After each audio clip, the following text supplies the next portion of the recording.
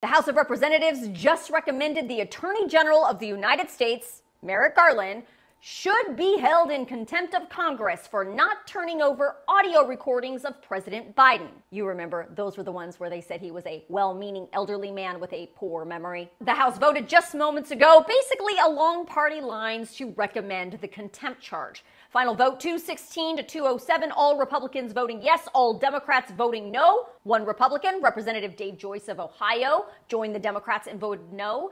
Eight House members did not vote. So now what? Well, this contempt charge will be referred to the U.S. Attorney for the District of Columbia, which is overseen by the Justice Department. Yes, that same Justice Department that Merrick Garland heads up. Then it'll be up to the Justice Department to decide whether or not to prosecute. Spoiler alert, it is highly unlikely that the Justice Department is going to move forward with the prosecution of Merrick Garland. Why?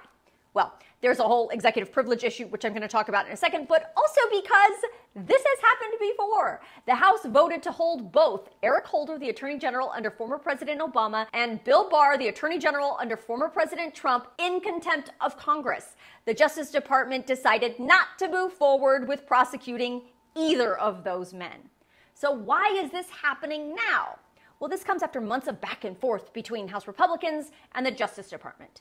You'll remember President Biden was interviewed by special counsel Robert Hur over the classified documents found at his home and in his private office. The special counsel released a very long report detailing his reasons for not moving forward with prosecuting Biden over those documents. The report was made public, and so was the transcript of that two day interview that he had with the president. In his report, special counsel Robert Hur said President Biden, during that interview, came across as a well meaning elderly man with a poor memory. After releasing Hur's report, several other documents, and the actual transcript of the interview with Biden, the White House decided to exert executive privilege over the audio recording of the interview. Republicans were pissed. They say they want the audio. They say they need it to ensure that the transcript matches what actually happened in the interview. Garland said no. He said his hands were tied because of the executive privilege. So, because he refused, Congress voted to recommend contempt charges today. Executive privilege, by the way, gives the president the right to keep information from the courts, the public, and Congress to protect the confidentiality of decision making, though, of course, it can always be challenged in court. But for years, both Democrat and Republican administrations have abided by sort of this long held position that officials who are enforcing presidential claims of executive privilege shouldn't be prosecuted for contempt of Congress.